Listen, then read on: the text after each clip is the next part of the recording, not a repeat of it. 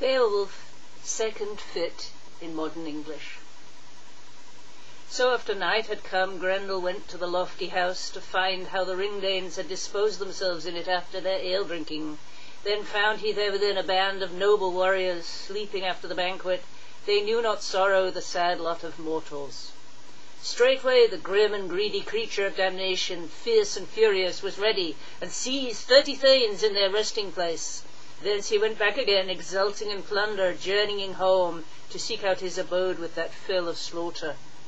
Then in the morning light, at break of day, Grendel's strength in war was manifest to men. Then was a cry, a mighty noise at morn, upraised after the feasting. The famous prince, the prince well known of old, sat downcast. Strong in might, he suffered, endured sorrow for his lieges when they surveyed the traces of the foe, the accursed spirit. That strife was too strong, too hateful and long-lasting. There was no longer respite, but after one night he again wrought greater deeds of murder, violence, and outrage, and had no regret therefor, he was too deep in them. Then was the man easy to find who sought elsewhere more remote a resting place for himself, a bed among the outbuildings, when the hall warden's hate had been declared to him, and truthfully made known by a clear token.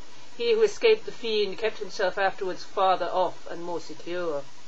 In this way he was master, and strove opposed to right, one against all, until the best of houses stood deserted. It was a long while. Twelve winters' space the Scyldings' lord endured distress, every kind of woe, deep sorrows. Therefore it was then without concealment made known to sons of men, sadly in song, that Grendel fought for a long time against Hrothgar, waged hate-begotten feuds, outrage and enmity for many seasons, continual strife. He would not make peace with any man of the Danish host, nor cease from murder of the counsellors there, nor make a lawful compensation, and none need look for a handsome reparation at the slayer's hands. But the demon, the dark death shadow, ever pursued young and old, laid in wait for and entrapped them. In the endless night he held the misty moors. Men knew not where such mysterious creatures of hell go in their wanderings.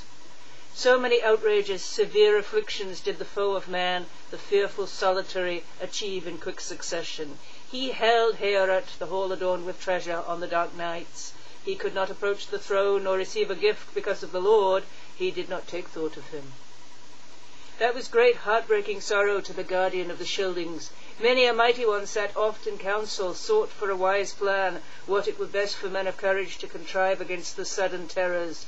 Sometimes they vowed sacrifices at the tabernacles of idols, prayed aloud that the destroyer of souls would provide them help against the distress of the people.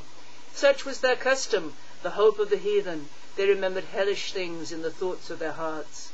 They knew not the Creator, Judge of deeds. They knew not the Lord God, nor truly had they learned to worship the Protector of the heavens, the glorious Ruler.